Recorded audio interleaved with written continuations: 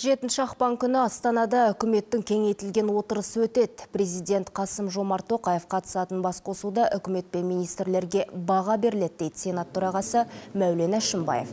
Спикердің пікірінше үкімет белсенді жұмыс істеп қойылған міндеттерді орындап жатыр, бірақ олқылықтарда жоқ емес.